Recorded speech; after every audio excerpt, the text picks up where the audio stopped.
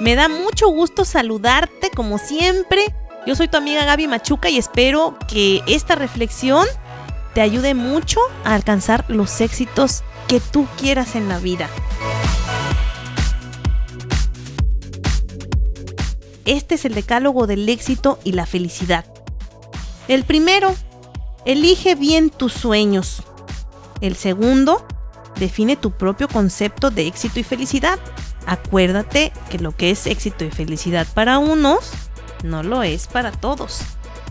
No desdeñes ni descuides lo que tienes ni lo que has logrado, porque es tu esfuerzo y debes cuidarlo y estar agradecido por ello. El 4. Ve en pos de aquello que te gusta, de eso que te hace bien y que te convierte sobre todo en una mejor persona.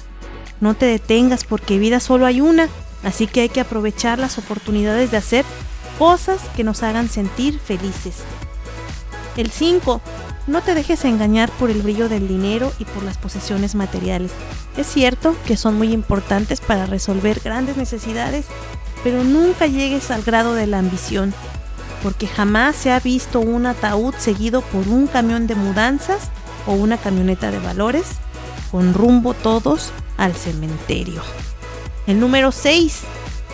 Busca en lo que más te gusta tu proyecto de autorrealización no lo que los demás digan, porque la gente dice, realízate, sé abogado, sé ingeniero, pero tu realización es solamente lo que a ti te haga feliz. Aquello que hagas con amor te va a salir bien siempre. El número 7.